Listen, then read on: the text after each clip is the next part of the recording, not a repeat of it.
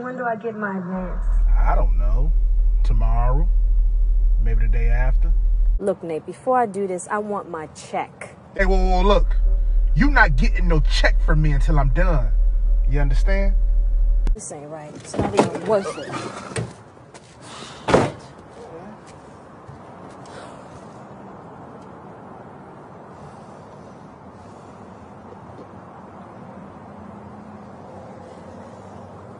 I'm in a bind, Nate.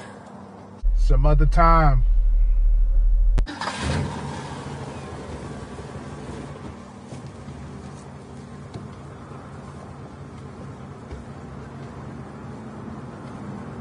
I really need this money, Nate.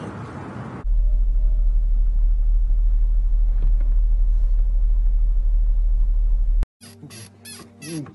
mm. mm.